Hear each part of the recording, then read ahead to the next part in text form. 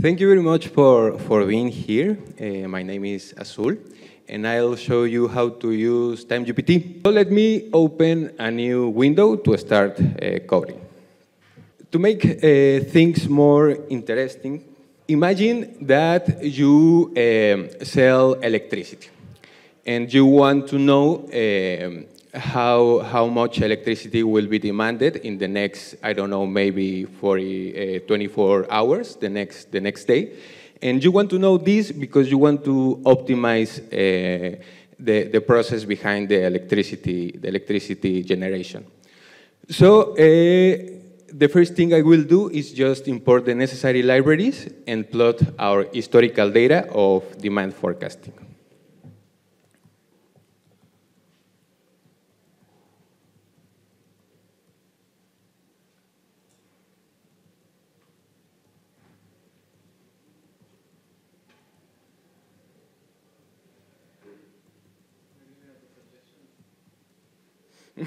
yes, of course, why not?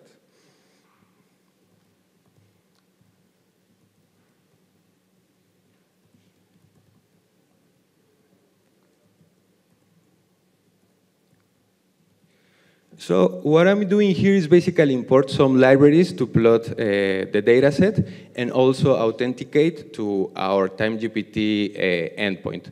Uh, so basically, I exported before uh, the talk the TimeGPT token environment variable, and later I will uh, let you know how can you get yours. So right now, I will be loading the historical data, and I will be plotting uh, the time series.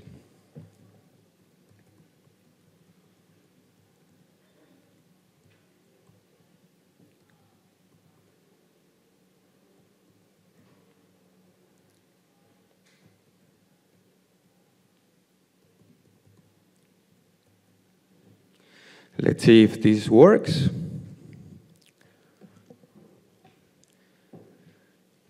So basically, we have these uh, four, um, four markets, which basically allows us to know what uh, have been the historical um, behavior of the electricity demand. As you can see, uh, there is a strong seasonality, and this is expected because we can expect that the demand increases, I don't know, maybe the, during the day, but in the night, uh, the demand will be, will, be, will be lower.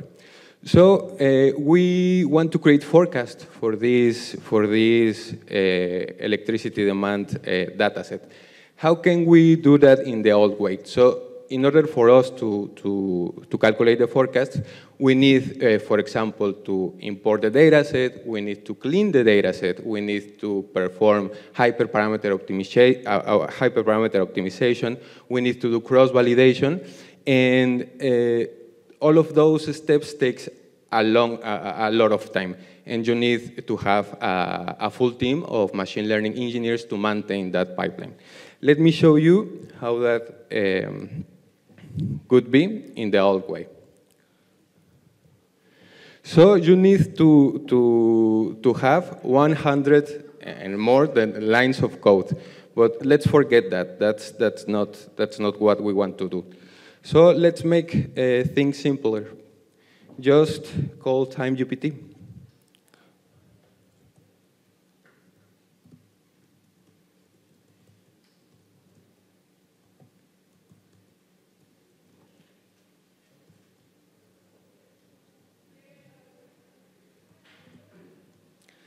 Basically, what we did is just call the forecast method or, uh, of our main class. I, I passed the, the data frame of our data set, and I put the horizon I want to, to predict, and finally, I want to visualize the time series.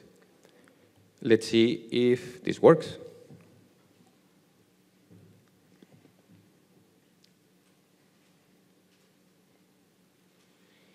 Here, um, our SDK is calling our forecast endpoint, and we have the forecast.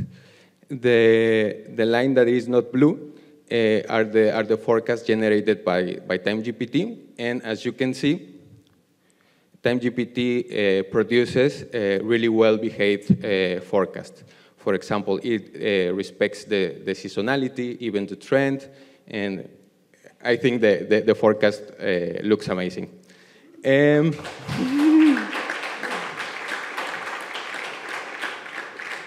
But what about uncertainty estimation? We don't just want to know uh, one, one single future, but we want to know multiple futures. Uh, fortunately, we can do that with TimeGPT. We just need to add one uh, single argument. Let me do that.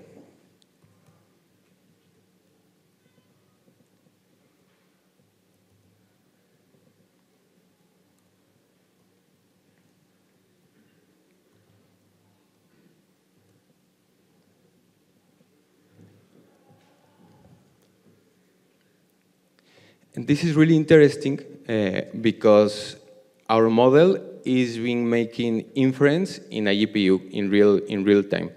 And uh, just like that, we have uh, prediction intervals for our forecast. And one interesting thing about our deployment is that it's horizontally scalable in the sense that you can uh, uh, call the API multiple times and you will get results as fast as, as, as possible.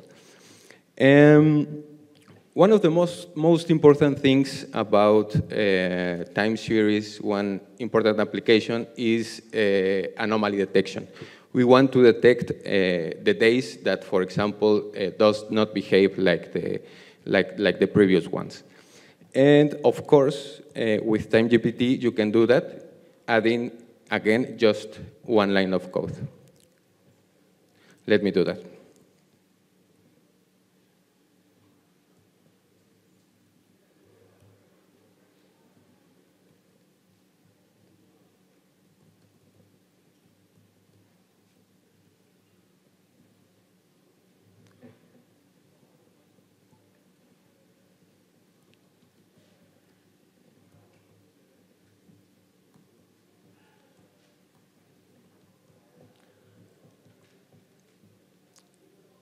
Um, another interesting thing about TimeGPT is that this is zero-shot learning. We are not training uh, the model in, in the dataset. We are just making inference in a GPU. And just like that, you can visualize the, the, the anomalies detected by, by TimeGPT, just adding uh, another line, line of code. So what we did, we create a full uh, production uh, Eh, environment to forecast electricity demand across multiple markets in less than five minutes.